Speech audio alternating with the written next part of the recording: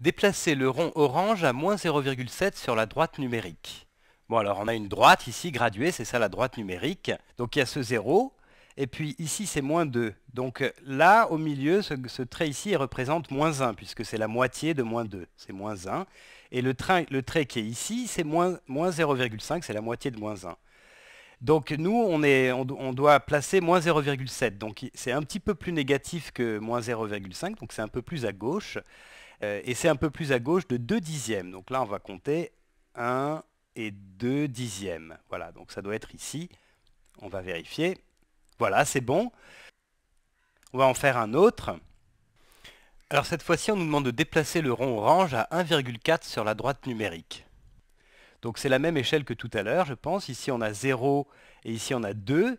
Là, au milieu, entre 0 et 2, c'est exactement la moitié. Donc c'est la moitié de 2, donc c'est 1. Ici, c'est 1. Donc là, ici, c'est la moitié, de, c'est le milieu de 1 de cet espace-là, entre 1 et 2, donc c'est 1,5.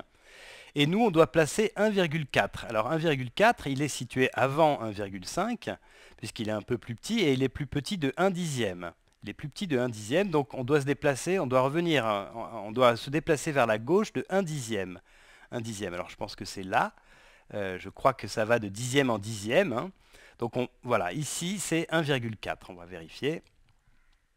Voilà, c'est bon. Allez, on en fait encore un dernier. Alors cette fois-ci, il faut qu'on place euh, le point orange à 0,3. Alors 0,3, on a toujours la même échelle que tout à l'heure. Hein. Donc ici, ce trait-là, il représente 0,5, puisque ici c'est 1. Donc là, c'est la moitié de 1, c'est 0,5. Et donc nous, on est à 2 dixièmes avant 0,5, puisqu'on n'a que 3 dixièmes. 1, et 2. Voilà, je me déplace de 2 dixièmes. On aurait pu aussi le faire différemment. On pourrait aussi se dire que 0,3 c'est 3 dixièmes, donc on part de 0 et on compte 3 dixièmes. 1, 2, 3. Voilà. Donc là, ici c'est 3 dixièmes. 0,3. Voilà.